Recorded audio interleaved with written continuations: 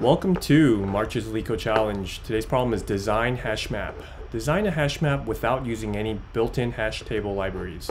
To be specific, your design should include these functions. Put, key value, insert a key value pair into the hash map. If the value already exists, update the value. Get, return the value for the specified key. Or remove, remove the mapping for the value key if this map contains the mapping for the key. Yeah, so I personally I really hate these questions, so I'm not going to go too into it. Um, we already know we can't use built-in hash libraries. So what's the really only alternative? We can use lists, we can use list nodes and stuff that if we want to generate ourselves, but let's keep it really simple here. And what we'll do is just generate a list. And we already know that all the values, keys and values will be between be between in the range of 0 to uh, looks like 1 million right? So why don't we just create a list? What we'll do is have negative ones at every one of these for blank in range of 1 million. Uh, so now we have this list so we do use this extra memory but that's okay. We are going to put this key and value into um, because we know that's going to be between 0 and 1 million, we already have the index value to be, that's going to be the key number, right? So we can say, all right, self L uh, at the key, make it equal to value. And it's fine if it's already populated with something because we'll just update it when we put it in there. Now, when we do get, we're just going to return self.l key. And when we remove, we're just going to set this L key back to negative 1.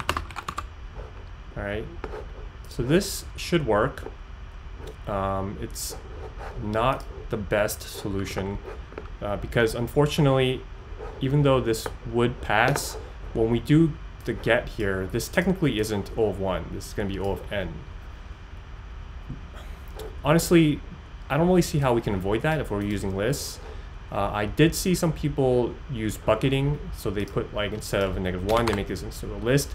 And what they do is um, divide up the number key that they're given to and use some sort of modular to later iterate down this uh, bucket to see if that key exists. So that would save, I think, some memory, uh, but it would make it even a little bit slower because you now you have to look for, for the for the bucket key and then look through that list inside there to see if that key exists. Um, so it's up to you. I mean, really, it's like, do you know how hash hash map works? We have a key. Generally, we will use some sort of algorithm to generate a hash key and we will set that space wherever this hash key points to to contain that value right? Uh, so you can mimic that in some ways. You can like generate a hash map um, and I'm sorry generate a hash key and have that point to one of the numbers inside this index or even have like some sort of other node to look through that. But you know what? I, I just don't really think it's worth going into that. Um, I'm not fully familiar with it myself, and I doubt this question will ever be asked in an interview. So I think this was it's good enough. We understand what we're trying to do, so let's keep it at that. All right, thanks for watching my channel. Remember, do not trust me. I know nothing.